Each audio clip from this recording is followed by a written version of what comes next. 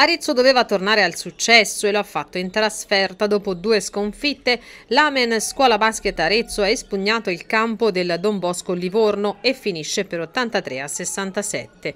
Primo quarto equilibrato con l'Amen che mette la testa avanti con i canestri di Vesilinovic e Rossi. Nel secondo quarto un parziale di 7 a 0 a favore del Livorno riporta la partita in parità, prima che la seconda tripla di Pelucchini e ancora di Rossi lancino gli Amaranto. Il finale di quarto è tutto di marca aretina con i ragazzi di coach evangelisti che operano il break decisivo andando a riposo sul 49 a 30.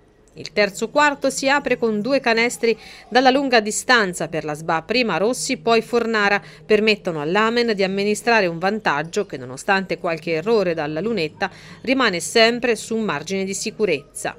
Negli ultimi dieci minuti coach Evangelisti concede spazio anche ai giovani che si guadagnano minuti di esperienza per il proseguimento del campionato. La partita finisce 83 a 67. Sabato al Palasport Estra arriva il Cecina, ferita dalla sconfitta casalinga contro l'altra capolista Prato.